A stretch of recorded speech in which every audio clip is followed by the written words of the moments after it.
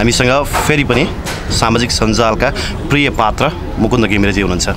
उहाँसँग पछिल्लो समयका राजनीतिक विषयवस्तु र उहाँका केही एजेन्डाहरूसँग रहेर विशेष बहस गर्नेछौँ। मुकुन्द दाई स्वागत छ यहाँलाई सम्पूर्ण मिडियाहरूमा। थ्याङ्क यू नमस्कार। आराम हुनुहुन्छ? ठिक छु। पछिल्लो समय यहाँले केही महत्त्वपूर्ण अभिव्यक्तिहरू आफ्नो सामाजिक सञ्जाल मार्फत दिँदै राजमार्गहरूमा डोबाटाहरूमा राजा महाराजाका अ, शालिग जुन ठडाएको छ यसले जनताको सवारीमा डिस्टर्ब गरेको हुनाले त्यस्ता राजा महाराजाका शालिगहरू हटाउनुपर्छ। र खास गरी सिंहदरबारको अगाडि नै पृथ्वीनारायण भनेर एउटा जुन ढुङ्गो हडिआएको छ त्यसले त देशकै सबैभन्दा महत्त्वपूर्ण प्रशासनिक केन्द्रको आँगन र सवारी समेत डिस्टर्ब गरेको हुनाले त्यसलाई हटाउनुपर्छ। भन्दै आएको हुँ जित्नेले इतिहास लेख्छ भनेर सर्वस्वीकृत कुरा हो। अहिले पछिल्लो हामीले भोगेकै दशकमा अन्ठाउन्न सालमा नेपालको दरबारमा जुन घटना घटेको छ त्यसमा युवराज दिपेन्द्रलाई दोष लगाएर पछि इतिहास लेखिन्छ होला लेख्न थालियो होला। इन्नोसेन्ट भगवान् जस्ता युवराज दिपेन्द्रलाई त्यत्रो घटनाको दोष बोकाइयो र भोलि पढ्दाखेरि युवराज दिपेन्द्रले नै आफ्नो बुवाको वंश नाश गरे भनेर पढाइन्छ। ठिक त्यस्तै गरेर पहिला राजा महेन्द्रले लगभग म नेपालको फाउन्डर चाहिँ महाराज महेन्द्र शाहलाई मान्दछु। त्यति बेला उनले आफ्नो हातमा कलम परेको बेला चाहिँ पृथ्वीनारायण शाह भन्ने एउटा पात्रलाई सोचेर मनोगत इतिहास लेखाएर महेन्द्रमालाको रूपमा नेपालमा लादेर मेचीकाली पहाड मधेसमा विद्यार्थीहरूलाई लौरो लगाएर पढाइयो घोकाइयो भन्ने मेरो विश्वास रहिआएको छ। सान्दर्भिक होला र मुकुन्द घिमिरेजी यो कुरामा किनभने जम्मा तिन सय वर्ष अगाडिको इतिहास हो होइन? हामीसँग त त्योभन्दा अगाडिका इतिहासहरू पनि लिखित रूपमा छन् होइन? लिखित दस्तावेजहरू पनि छन्। अब महेन्द्रले त्यस्तो खालको चालाखीपूर्ण काम गर्यो होला नि त। कुनै अमुक पात्रलाई चाहिँ पृथ्वीनारायण शाह बनाएर नेपालको इतिहासलाई चाहिँ गलत तरिकाले व्याख्या विश्लेषण गर्ने प्रयास गर्यो होला नि त। त्यसमा तुक होला? मेरो मेरो त्यसमा आशंका छ। जस्तो तर्कहरू के हुन सक्छन्? यहाँले चाहिँ पृथ्वीनारायण शाह भन्ने एक काल्पनिक पात्र हुन् भनेर त्यसमा दिन सक्ने तपाईँका तथ्य र तर्कहरू चाहिँ के हुन सक्छन्? अहिले उनीहरू राजावादीहरूले सिधै म राजावादी हुँ भन्न नसकेर पृथ्वीनारायणवादी हुँ भनेर गतिविधि गरिरहेका छन्। यसचोटि चाहिँ नै मेन स्ट्रिमका पार्टीका विभाजन इत्यादिको हल्लाले राजावादीहरू पृथ्वीनारायणवादीहरू छायामा परे पनि अघिल्लो सालतिर चाहिँ पुष एक गते राजा महेन्द्रले सत्र सालमा कु गरेको दिनदेखि लगातार यो पुषभरि बेकारको ध्वनि प्रदूषण खास गरी पृथ्वीनारायणकै नाउँमा गरिरहन्थे। दुई सय उनान्सय वर्ष अगाडिको कुरा हो पृथ्वीनारायण भनेर भनिन्छ। सत्र सय उनासी सालमा पृथ्वीनारायण जन्मे भनेका छन्। यो चाहिँ महेन्द्रले आफू उन्नाइस सय सतहत्तर सालमा जन्मेका थिए। त्यही अङ्क यता र उता पारेर सत्र सय उनासी दुई सय वर्ष जति अगाडि पृथ्वीनारायण थिए भनेर लेखाइएको छ। र पृथ्वीनारायणको आँखो तिर्ले लागेर फुटेको भनेर लेखाइयो। जबकि महेन्द्र कालो चस्मा लगाएर हिँड्थे उनको आँखामा समस्या थियो भनेर धेरैलाई जानकारी होला। दोषी चस्मा भनेर बिपी कोइरालाले अ, आफू थुनिएको बेला महेन्द्रलाई ज्ञानेन्द्रलाई सहयोग नगरेर थुनिएको बेला फुर्सदिला बिपी कोइरालाले पूर्व प्रधानमन्त्रीको औकातका साथ जब जेलमा हुनुहुन्थ्यो सुन्दरी जेलमा त्यति बेला दोषी चस्मा लेखेर सायद महेन्द्र राजा महेन्द्रलाई नै कटाक्ष गरेका हुनुपर्छ। बिपी कोइरालाले आफू दोषी चस्मा लाउन बाध्य थिए। महेन्द्र र त्यस्तै आकृति चाहिँ पृथ्वीनारायणको आँखा पनि तिरले फुटेको भनेर लेखाइयो। र अब दुई सय उनान्सय तिन सय वर्ष अगाडिको चेतनाले एउटा बच्चा जन्मिँदा पृथ्वी र नारायण भनेर फ्युजन गरेर नाम लेख्ने त्यो बेला पुग्दैन थियो। त्यति बेलाको नाम भनेको डाँडा घरे सिरान घरे पुछार घरे डोबाटे ओडारे यस्तै हुन्थ्यो। आजको सभ्य समाज भनिएको अवस्थामा पनि म मुकुन्द प्रसाद घिमिरेको नाउँ मुकुन्दे भनेर एक लखै लगाइन्छ। फलाना चोर देश छोड भनेर अन्तिम राजा ज्ञानेन्द्रको नाम लिएको थियो। लेले खुकुरीले फलानालाई छप्काइदिन्छु भनेर पूर्व प्रधानमन्त्री दाहालको नाम काट्छ भिडले भने तिन सय वर्ष अगाडिको चेतनाले एउटा बच्चाको नाउँ सिङ्गो पृथ्वीलाई सम्झेर पृथ्वी र भगवान् विष्णुको काल्पनिक नाम नारायणलाई जोडेर पृथ्वीनारायण राख्ने चेतना त्यो बेला भ्याउँथेन र तिन सय वर्ष अगाडिको जुन उनीहरू भन् इतिहास भन्छन् बाह्र तेह्र पुस्ता जो भनिन्छ तेह्र पुस्तामा शाहको सङ्ख्या कति हुनुपर्ने गुणात्मक फैलिँदै गर्दा? हाम्रो भोजपुर भोजपुरमा घिमिरेहरू हामी गुल्मीको घमिरबाट पूर्व फैलिँदै लमजुङ ढाकेर रामेछाप भरेर भोजपुरबाट चाहिँ नि बसाइ सरेर सुनसरी मोरङ झापामा अहिले देवालीमा बोका काट्दाखेरि हजारौँ चाहिँ नि को बलि हुने गर्दछ। हाम्रा आमा हजुरआमाहरू सुत्केरी बेथाले कति मरे होलान् काका बडाहरू जन्मिन नसकेर कति खसे होलान् र पनि घिमिरेको सङ्ख्या यसरी चाहिँ नि दुबोसरी मौलाएको छ भने तेह्र पुस्ता अगाडिका राजा महाराजा खाने र सन्तान पाउने शासन गर्ने खोक्ने बाहेक केही काम थिएन। उनीहरू यति फैलिन्थ्यो होला कि किरासरी हुने थिए आज। काठमाडौँमा नेवारले बास नपाउनु पर्ने।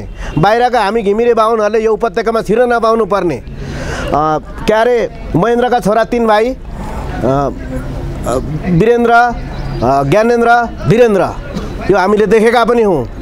के अरे त्रिभुवनका छोरा तिन भाइ महेन्द्र शाह हिमालय विक्रम शाह र वसुन्धरा विक्रम शाह यी थिए। एवं रीतले त हुँदै जाँदा दस पुस्तासम्म तेह्र पुस्तासम्म हिसाब गर्दा शाह नै शाह भरिनु पर्ने मधेसका तेली शाहभन्दा बढी हुनुपर्ने कर्णालीका राउटे शाहभन्दा बढी हुनुपर्ने काठमाडौँका सामन्ती शाहहरू। त्यसैले सङ्ख्या पनि राजा महाराजाहरूको पुगेन। नाउँ पनि त्यो बेला त्यसै राख्न भ्याउँदैन थियो। र खास गरी ब्रिटिसले भारतले एउटा अन्तर्राष्ट्रिय आवश्यकताले मन्दिर वरिपरि हिन्दू राज्य पशुपतिनाथको देश बनाएको हुनुपर्छ। हामीले घाम नअस्ताउने बेलायती साम्राज्य भनेर पढेकै छौँ। उहाँ सागरदेखि यहाँ हिमालसम्म बेलायतै थियो। पछि सत्ताइस अट्ठाइस सालसम्म भारतको सेना हिमाली नाकाहरूमा दक्षिण एसियाको सुरक्षा गरेर बसेको थियो। कृतनीति विष्टको पाला मात्रै उत्तरको हाम्रो हिमाली नाकाबाट भारतीय सेना पछि हटेको हो। काला पानीमा अहिले पनि हटेको छैन। सम्भवतः विवादमा परे पनि हट्नेवाला पनि छैन। हिजो भारू चल्थ्यो पढाइ शिक्षा लिन बनारस जानु पर्थ्यो धर्म लिन काशी जानु पर्थ्यो नेपालमा केही पनि थिएन बिजुली पनि त्यही इन्डियाबाट आएर लोड सेडिङ भयो भन्ने कुरा यहाँ अहिले बल्ल बहस हुने गर्छ। हाम्री राष्ट्रपति विद्यादेवी भण्डारले भारतका राष्ट्रपतिलाई धन्यवाद दिएकी थिइन् लोड सेडिङ हटाइदिएकोमा त्यसैले बिजुली आउने धर्म आउने ज्ञान चेतना आउने सबै इन्डियाबाटै हो। र ब्रिटिसहरूले एउटा अन्तर्राष्ट्रिय आवश्यकताले मुस्लिमलाई देखाउन हिन्दू राज्य एउटा बनाउन त भनेर खास गरी ब्रिटिस र भारत खण्डीकरण भएर नेपाल बनेको कुनै एकीकरण भएको होइन। र हिजो यहाँ शासन पनि थिएन प्रशासन पनि थिएन खोला पुल पनि हालेको थिएन। का गोर्खाका शासकले उदयपुर भनेर अरुणदेखि पश्चिमको उदयपुर जिल्लालाई देखाउँथ्यो। जबकि खोलामा पुल हालेको नहुनाले गोर्खाको घाम काठमाडौँको घाम उदयपुर जिल्लामा झुल्किन्थ्यो। पछि इन्डियाले उन्नाइस सय चौन्नमा कोशी पुल हालिदियो। उन्नाइस सय अस्सीमा नारायणी पुल हालिदियो। उन्नाइस सय चौरानब्बेमा जापान सरकारले चिसापानी कर्णालीमा पुल हालिदिएपछि पश्चिमका मान्छेहरू नेपालमा एकीकृत भएका हुन्। अहिले नेपालको घाम बल्ल सूर्योदय नगरपालिका इलामबाट झुल्किन्छ पूर्वबाट। उदयपुर पहिला यहाँ माझा नेपालतिर थियो। यो सब कारणले यो नेपालको इतिहास चाहिँ सात साल आसपासमा हो। नयाँ एउटा भर्जिन ल्यान्ड हो नेपाल। के अरे युएनमा इन्डियाले आवश्यक भएर पछि दुई हजार पन्ध्र सालमा दर्ता गरिदिएको हो। तर राजा महाराजले चाहिँ यहाँ जनताको कुनै हक छैन। मेरा पुर्खाले बनाएको देश भनेर यो देश एकी के अरे निजीकरण गरे एकीकरणको नाउँमा वास्तवमा खण्डीकरण भएको हो एकीकरण भएको हो भन्ने मलाई लाग्दैन। तपाईँको तर्कसँग सहमत हुने हो भने त फेरि दुई हजार दुई साल यताका धेरै मानिसहरू अहिले पनि जीवितै छन्। उनीहरूसँग कुराकानी गर्दा पनि त यो कुराहरू त पुष्टि हुन्छ। जुन कुरा तपाईँले भनिरहनु भएको छ त्यो कुरासँग त सहमत हुन सकिँदैन नि। दुई हजार दुई साल आसपासका मान्छेहरूको नाम थिएन नागरिकता थिएन जग्गा धनी पूर्जा थिएन केही पनि थिएन। ज्ञान अलिअलि बनारसबाट बिस्तारै छिर्दै थियो। यहाँ काठमाडौँमा दुई हजार सत्र सालमा बेलायतकी महारानी सवारी भएकी थिइन्। त्यहाँ हिन्दुत्वको लागि जबरजस्त गरेको महेन्द्रले ठिकै छ भनेर धाप मार्न आएको हुनुपर्छ। त्यो त बेग्लै देशकै रूपमा हो महारानी एलिजाबेथको सवारी भएको तर जर्ज पञ्चमको नेपालमा सवारी भएको छ। सिंहदरबारको स्टेट हलमा अहिले पनि महारानी भिक्टोरियाको शालिग छ। हाम्रो धर्ममा हामीले दुर्गा माता भनेर पूजा गरेका बेलायतकी महारानी भिक्टोरिया हुनुपर्छ। यहाँका चाहिने दुखी गरिब र्याले बाहुनहरूले तिहारमा लक्ष्मी पूजा भनेर पैसाको लागि रुँदै पूजा गरेकी बेलायतकी महारानी भिक्टोरिया बजेट हालिदेऊ। तिमीलाई देवी मानौला। भनेको हुनुपर्छ। यसैले यो धर्मको लागि बनाएको रेडिमेड देश हो जसरी भुटानमा मङ्गोलियन देउता पालेको छ पाकिस्तानमा मुस्लिम इलाका छुट्याएको छ र नेपाल हिन्दू धार्मिक इलाका बनेको यो देश चाहिँ मन्दिरले बनाएको दरबारले होइन गजुरले बनाएको श्रीपेजले होइन आदतवादले बनाएको सामन्तवादले होइन। अहिले पनि यो देशमा चाहिँ नि त्रिशुल डमरू चिन्ह अङ्कित सेना छ। हुन त त्यो सेनाले आफ्नो हेडक्वार्टरमा चाहिँ नि शिव को मात्रै तस्बिर राख्नुपर्ने हो। हुनु न ओर्नुका काल्पनिक बुढा राजा भनेर पृथ्वीनारायणको साली त्यहाँ तस्बिर पनि त्यहाँ राखेको छ। यो विभिन्न कारणले यो देश चाहिँ मन्दिरको लागि हिन्दुत्वको लागि चाहिँ बनाएको हो। तर सात सालका आसपासका मान्छेले जो भन्नुभयो उनीहरूले के थियो र? जे गर्न पनि इन्डिया जानु पर्थ्यो भारू चल्थ्यो तेर्सो हिँड्न पाइँदैन थियो खोलाले छेकेको थियो देशलाई दक्षिणतिर चाहिँ नि ओह्रालो उकालो गर्नु पर्थ्यो। त्यति बेला फेरि माटो ढुङ्गो थियो हिमाल पहाड थियो। यो उत्तर भारतमा एउटा अन्तर्राष्ट्रिय हिसाबले रमणीय काठमाडौँ उपत्यका थियो। तर देशको रूपमा थिएन राज्य थिएन डकुमेन्टहरू थिएनन्। जे जे गर्नु पर्थ्यो इन्डियाले नै डाइरेक्ट इन्डाइरेक्ट गर्थ्यो र बेलायतका राजकुमारहरू गौचरणमा हेलिकप्टरमा ल्यान्ड गर्थे ठमेलमा सुत्थे हाम्रा नाङ्गा हिमालहरूको सुन्दरता हेर्थे। पछि मुस्लिम आतङ्कवादीहरूलाई देखाउन चुच्चो नाक भएका मान्छेहरू हिन्दू पनि छन् तेत्तिस कोटी देउता मान्छन् अरूप्रति उदार छन् हिंसा गर्दैनन् भनेर लादेनलाई देखाउन टुपी पालेका मुकुन्दहरू जनैमा साँचो भिरेका बाहुनहरू पछि जन्माइएको हुनुपर्छ। र बाबरी मस्जिदमा दङ्गा भएको भर्खर हो। गुजरात दङ्गा जितेर चाहिँ नि भारतका प्रधानमन्त्री मोदीले चाहिँ नि हिन्दुत्व बललाई स्थापना गरे। अहिले भर्खर इन्डियाले यो बिजेपी आएर चाहिँ हिन्दुत्व मिलाएको छ। अयोध्यामा के अरे यो मुस्लिमको मस्जिदहरू भत्काएको कुरा टुङ्गिएको छ अदालतबाट। त्यसैले अन्तर्राष्ट्रिय सेटिङमा क्रिस्चियनप्रति पोजिटिभ हिन्दुत्वको केन्द्रको रूपमा बेलायतले भारतले नि अन्तर्राष्ट्रिय आवश्यकताले यो देश बनाए र उनीहरूले नि अङ्ग्रेजीहरू अङ्ग्रेजहरू र इन्डियाका माडेहरू समेत लागेर यहाँ राजाका केही काटे बाहुन बाबुराम आचार्य लगायतलाई इतिहास शिरोमणि भनेर इतिहास एउटा प्रोजेक्ट अन्तर्गत पछि लेखाएको हो। उनीहरू नि आफै शिलालेख भनेर लेखेर एउटा नक्कली झाडीमा फाल्ने अर्को गएर भेटेँ भन्ने अर्को ल्याएर यो त सय वर्ष पुरानो भनेर प्रमाणित गर्ने त्यो सेटिङमा हो। अहिले गाउँ छ गीता नेपाली रानीका छोरा उचाली टिस्टा जिते काँगडा जिते हामीले हिमाल उठायौँ भनेर लेख्ने एउटा घिमिरे बुढा माधव प्रसाद घिमिरेलाई राष्ट्रकवि बनाइयो शाही सरकार महाराज ज्ञानेन्द्र भएको बेला साठी बैसठी सालमा। यो इतिहास चाहिँ यसरी बिस्तारै बन्ने क्रम हो। राजाको चाहिँ गोर्खा जिल्लाका एकजना मान्छे कपडा बिर्सेर दिल्ली बजारमा हिँड्ने अ, के अरे देवकोटालाई महाकवि भनेर घसियाको गीत द सङ्स अफ हार्पर भनेर अङ्ग्रेजी चोरचार पाएर त्यति बेला जे लेख्यो त्यही कविता बन्थ्यो। उनलाई महाकवि भनियो र पृथ्वीनारायण शाहलाई राष्ट्रिय विभूति जो भनिएको छ राष्ट्रिय विभूति अरू पनि अरनिको भन्ने एउटा चिनतिर हरायो भनिएको छ उनलाई बनाइयो। माटामुनि भेटिएकी जानकी लाई राष्ट्रिय विभूति बनाइयो। काल्पनिक कुराहरूलाई नि राष्ट्रिय विभूति बनाएको छ। र पृथ्वीनारायण पनि काल्पनिक हुन्। भगवान् कृष्ण पनि काल्पनिक हुन्। गौतम बुद्ध पनि एउटा मङ्गोलियनलाई शान्ति फैलाउनका लागि बुद्धि विस्डम शब्द हिन्दी शब्द छ अङ्ग्रेजी शब्द छ यो राखेर बनाइएको छ। मङ्गोलियन वर्गका होइनन् बुद्ध पनि। त्यसैले विश्वमा सभ्यताको लागि यो देउताहरू बनाए जस्तै नेपालमा चाहिँ एउटा जुरोको रूपमा पृथ्वीनारायणको काल्पनिक पात्रलाई रियल जस्तो पारियो भन्ने मेरो विश्लेषण रहिआएको छ। ओके त्यसो भए तपाईँले शाह वंशहरूको वंशावलीमाथि नै प्रश्न चिन्ह उठाउनु भएन महेन्द्र शाह त्रिभुवन शाहको पनि अस्तित्वमाथि त्यसो भए प्रश्न चिन्ह उठ्छ त? त्रिभुवनको उठ्दैन। महेन्द्र थिए एउटा दुखी मानव थिए जसले बिहा गर्न ऋण काढी हिँड्थे राजाको रूपमा त्यत्रो औकात उनको थिएन। ने मेचीकालीसम्म लेबी लाउने रकम तिराउने भराउने नेपाल सिङ्गो नेपालमा शासन गर्ने नेटवर्क थिएन त्यो बेला। अहिले पो एउटा फेसबुकमा युट्युबमा कसैले दरबारका रानी महारानीले मुस्कान छरे भने देशभरि उत्तेजना फैलिन्छ। हामीले बोल्यौँ भने देशभरि ज्ञान फैलिन्छ। कमान्ड कन्ट्रोल गर्न सजिलो छ। त्यति बेला त्रिभुवनका चाहिँ सेना भनिनेहरू दस बजे आउने चार बजे जाने थिए तर बस्ने व्यवस्था थिएन। के अरे यी उनीहरूको इतिहास थियो। ढुङ्गोमा मतलब पुर्खाहरू थिए। त्रिभुवन थिए। त्रिभुवनका बाउ पछि राजाको जस्तो नाम पृथ्वी विक्रम शाह बनाइयो ती थिए तर राजाको रूपमा होइन। र बिबिस वर्ष थपियो। एउटा राजेन्द्र लक्ष्मी भन्ने हाम्रो काल्पनिक इतिहासमा चलेकी मान्छेको फोटो चाहिँ छाउनी सङ्ग्रहालयमा आर्मीको क्यान्टिनमा चाहिँ काम गर्ने एउटा साउकी राम्री श्रीमतीको शिरमा ताज रखा राखेर राजेन्द्र लक्ष्मी भनेर छापियो भनेर चलेका पत्रकार किशोर श्रेष्ठको जनास्था साप्ताहिकमा छापिएको मैले पढेको थिएँ।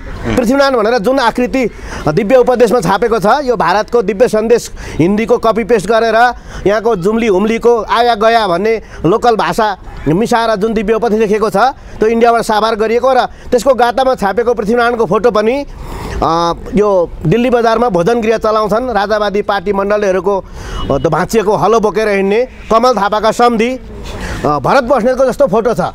त्यो दिव्य उपदेश भनेर छाप्ने पनि उनै हुन्। पृथ्वीनारायण सम्बन्धी अनावश्यक गतिविधिहरू पनि पुस सत्ताइस गते जो किरासरी मान्छे आउँछन् त्यही भजन गृहबाट निस्किन्छ। त्यसैले उनले आफ्नै फोटो च्यासे च्यासे खोटाङ्ग बस्नेतको फोटो राखेर पृथ्वीनारायण बनाए कि भन्ने मेरो आशंका छ। भनेपछि भूकम्प जानुभन्दा अगाडि दिव्योपदेशको पनि कुनै चर्चा थिएन। यो चाहिँ भूकम्प जानुभन्दा अगाडि। बौद्धिक लेभलमा चिनिएका कहलिएका मार्टिन चौतारी चलाएका डाक्टर प्रतिष्बन्तले पनि एउटा लामो लेख गत साल कान्तिपुर पत्रिकामा लेखेर भूकम्प अगाडि उन्नाइस सय नब्बेको भूकम्प अगाडि दिव्य उपदेशको काहीँ चर्चा परिचर्चा थिएन कसैले सन्दर्भ लिन्थेनन्। पछि दिव्य उपदेश भनेर अनेक थान किताब निस्के कोही कति पेजका कोही कति पेजका भनेर उनले पनि चर्चा गरेका छन्। त्यसैले एउटा अन्तर्राष्ट्रिय आवश्यकताले यो बनाएको हो र महाराज महेन्द्र शाहले यो के श्रीपेज पनि बाह्र तेह्र सालमा अब नयाँ राजा बेलायत दिएको राजा भुटानको जस्तै राजा थाइल्यान्डको जस्तै इन्टरनेसनल राजा महेन्द्रलाई श्रीपेज यो पुरानो प्वाख स्वाखको धामीको जस्तो लाएर भएन। अब जेन्टल श्रीपेज चाहियो भनेर आफ्ना जोरीपारीसँग माडेहरू सबै बोलाएर काठमाडौँका साहुहरू बोलाएर बाह्र तेह्र हजार रुपियाँ जम्मा गरेर अर्डर दिएर चाहिँ बाहिर बेलायतबाट श्रीपेज मगाएर ल्याएर अब इन्टरनेसनल युएनमा दर्ता भएको राजा हुँ। भनेर बनाएको छ। यो सबै कुरा चाहिँ श्रीपेजदेखि यी शालिगदेखि र यो लिखित इतिहास पनि पछि रेडिमेड बनाइयो। दिव्य उपदेश जस्तै भन्ने मेरो अब आत्मविश्वास हो। अब यो जनताको विश्वास हुन्छ। हिजो महेन्द्रमाला दुनियाँले लेखे के अरे राजाले लेखेर दुनियाँले पढ्यो भने भोलि जनताको एङ्गलबाट मुकुन्दमाला पनि लेख्न सकिन्छ भनेर मैले प्रयत्न गर्दैछु। ओके पछिल्लो समय भारतीय पूर्व राष्ट्रपति अ, प्रणब मुखर्जीले चाहिँ के लेख्नुभयो भने आफ्नो पुस्तकमा? राजा त्रिभुवनले नेपाललाई चाहिँ भारतमा विलय गराउने प्रस्ताव गरेका थिए भनेर पनि लेखेका छन् होइन? यो कुरामा चाहिँ तुक छ कि छैन? त्यसमा तुक छ जनरल लेभलबाट जनताको लेभलबाट लेखकहरू इतिहासकारले यो भन्दै थियो कि महेन्द्र यो देश चलाउन आवश्यक छैन।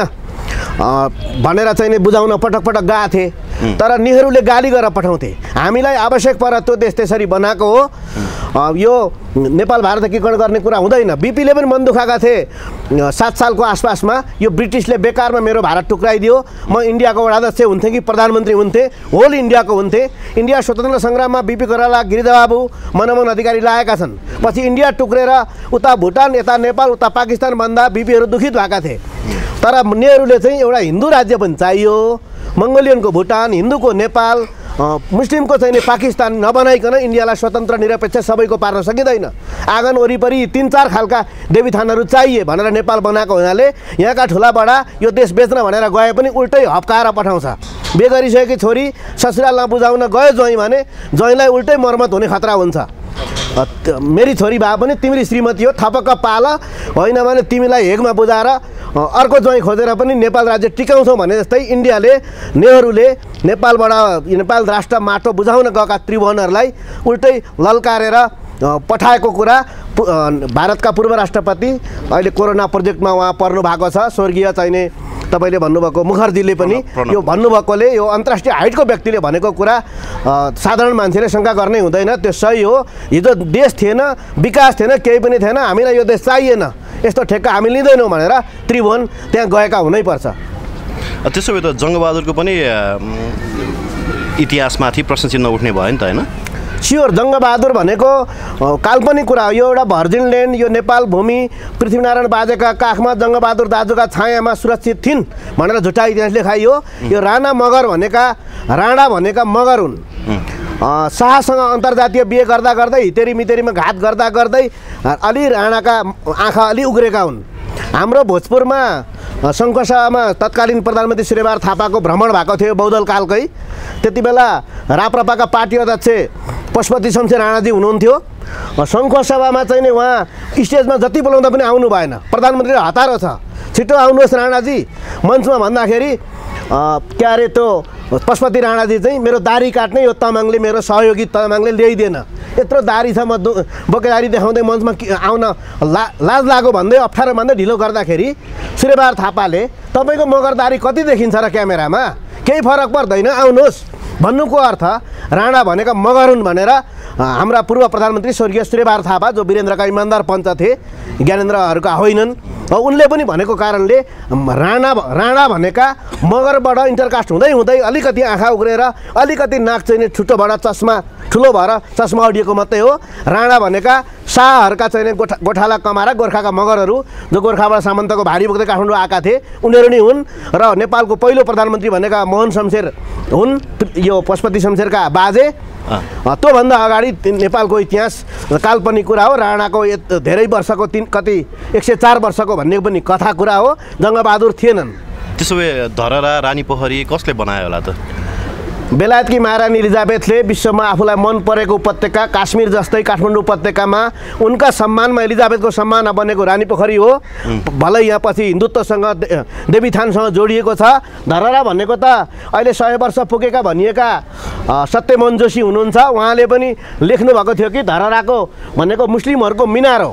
होल इन्डियामा मुस्लिमहरूको शासन थियो। यो हिन्दुत्व भन्ने पछि स्थापित गरेको यो कुहिरेको क्रिस्चियन फ्रेन्डली आइडिया हो।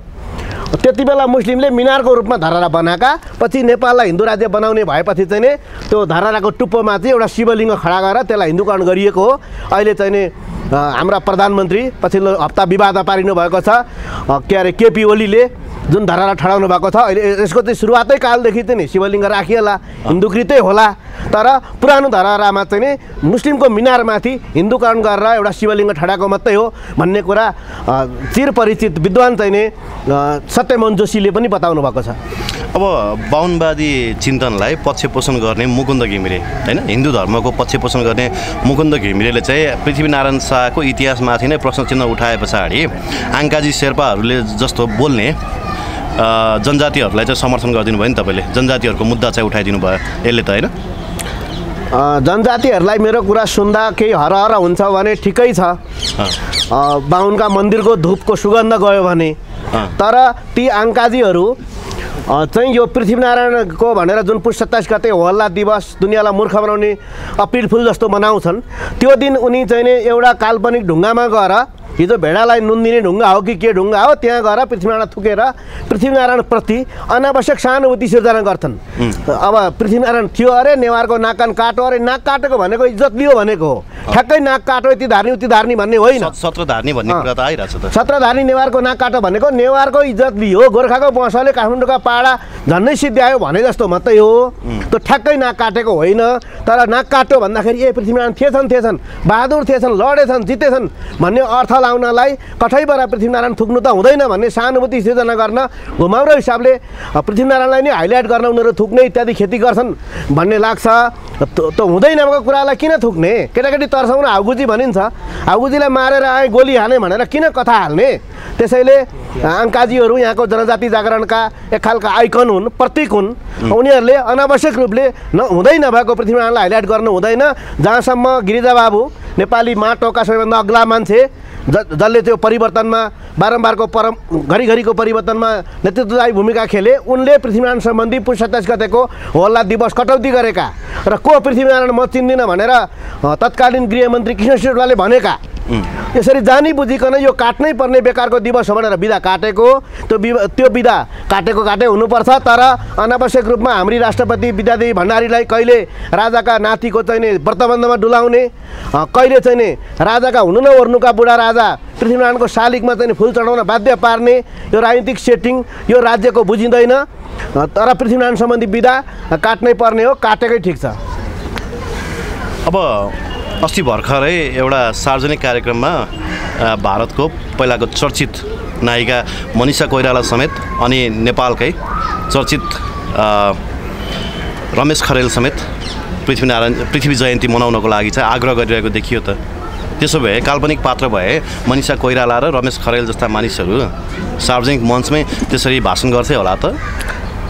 उनीहरू मनिषा कोइराला बिपीकी छोरी हुनाले चलेको नेपालको हामीले पुजेको बाहुनकी छोरी नातिनी भनेकोले इन्डियामा नाच्ने मौका दिएको हो। नभए त्यसै त्यहाँ नाच्ने मौका पनि दिँदैन। नेहरूकै जस्तो अनुहार परेकोले अमिताभ बच्चन त्यत्रो करोडौँ लगानी माथि नाचेर हिट भएका हुन्। नेहरूका के अरे अमिताभ बच्चनका भाइ अजिताभ साह्रै होचा छन् रे। बाउ हरिवंश राय बच्चन पनि होचा थिए कतैबाट बाउ छोराको होलिया मिल्थेन के अरे इन्दिरा गान्धीकी साथी हुनाले नेहरूका काख काखमै हुर्केकी हुन् उनकी आमा चाहिँ नि डेजी बच्चन के भनिन्छ? त्यो नाताले मात्रै राजीव गान्धीका भाइ हुनाले अनुहार पनि मिलेको हुनाले मात्रै अमिताभ बच्चन नाच्न पाएका हुन् र हाम्री मनिषा पनि त्यहाँ नाच्न पाउने कारण त्यो छ? तर बिपीको परिवारले हिजो महेन्द्र ज्ञानेन्द्रलाई सहयोग नगर्दा सात सालमा राजा भइसकेका ज्ञानेन्द्रलाई गद्दीबाट ओह्राले बापत बिपीले धेरै दुःख पाए गिरिजाउले धेरै दुःख पाए। त्यसको बापतमा गिरिजा र पछि राजा ज्ञानेन्द्रले मनिषा तिम्रै बाजे बिपी तिम्रै काका हजुरबा गिरिजाले गर्दा यहाँ धेरै बिग्रेको छ। अब तिम्रा बाजेले सपारेको बिगारेको तिमी नसपार्ने हो त भनेर कतै कतै कतै मनिषाका बाउ प्रकाश कोइरालालाई मन्त्री सन्त्री बनाएका थिए राजाले। त्यो पुर्खाले गल्ती गरेको नातिले सच्याउनका लागि उनलाई राजावादी हुन बाध्य पारेको हुनुपर्छ। यद्यपि छोरी मनिषाले राजनीति नै गर्नुपर्दा मेरो हजुरबाको पार्टी काङ्ग्रेसमै जान्छु भनेर राजावादीलाई घुमाएर थप्पड दिएकोमा चाहिँ म खुसी छु। तर हिन्दी फिल्ममा डान्स गर्दा गर्दा चाहिँ अब गाला चाउरी पछि परेपछि फिल्ममा बिग्न छोडेपछि चाहिँ नेपालमा आएर राष्ट्रियताको माला जपेर अझ राजावादी एङ्गलतिर फर्केर अझै पनि अस्तित्व कायम राख्न मनिषाले खोजेकी छिन्। उनले चाहिँ नि अस्ति एउटा मिसकल गरेकी छिन् काला पानी सम्बन्धमा पनि। र अग्लो भएर भलिबलमा सर्ट हान्न जाने भन्दैमा प्रहरीको आइजिपी हुन रियाल चुहाइरहेका डन्ठे खरेल रमेश खरेल पनि अझै पनि चाहिँ नि बजारमा चर्चाको लागि परिचर्चाको लागि राम्री हिरोनी मनिषाको छेउमा गएर पृथ्वीनारायणका नाउँमा जुन गतिविधि गरे त्यो चल्दैन। उनीहरू राजा घुमाउने हिसाबले राजावादी हुन्। मनिषाको त लेगेसी नै राजावादी भयो यहाँले प्रस्तुत गरे जस्तै होइन? तर हजुरबाको होइन बिपीको होइन उसका बाउ बिपी चाहिँ वीरेन्द्रवादी हुन्। गिरिजा वीरेन्द्रवादी हुन्। ज्ञानेन्द्रवादी चाहिँ मनिषाका बाउ चाहिँ नि प्रकाश कोइराला मात्रै हुन्। अनि खरेलको चाहिँ लेगेसी कसरी आयो त्यो राजावादीतर्फ? उहाँको त्यो सेन्टिमेन्ट चाहिँ कसरी जोडिन गयो पञ्चायतदेखि कता कता ठुला ठुला गृहमन्त्रीको ज्याक्ला र इन्सपेक्टर भर्ती भएर अग्लो छु भन्दैमा झन्डै आइजिपी खाएका पोलिटिक्स नमिलेपछि सलाम गर्ने मान्छे सलाम गर्ने औकातमा फर्केपछि।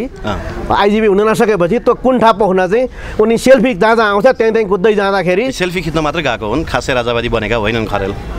त्यस्तो लाग्छ। अब अहिलेको लोकतान्त्रिक गणतन्त्रको सिस्टमबाट पेन्सन खाने मान्छेहरू रमेश खरेल भए के अरे ती लोकतन्त्रवादी नेताहरूलाई के अरे पञ्चायतमै जागिर खाएका सुरेन्द्र केसी त यही गणतन्त्रलाई धिकार्दै बस्छन् त जति बेला पनि। पञ्चायतदेखि जागिर खाएर नुन बेसाले केस फुलाएका सुरेन्द्र केसीहरू खगेन्द्र सङ्ग्रौलाहरू अ, के अरे यो जहाज अपहरणमा परेर पैसा लुकाउने एकजना सुवेदी दुर्गा सुवेदीकी श्रीमती श्रीमान कर्किनी हुनुहुन्छ।